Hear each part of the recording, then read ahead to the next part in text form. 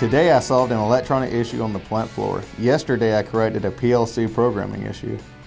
Every day is different, and Greenville Tech prepared me for the challenges I face.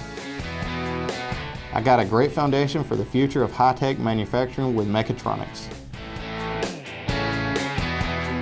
My education is working for me.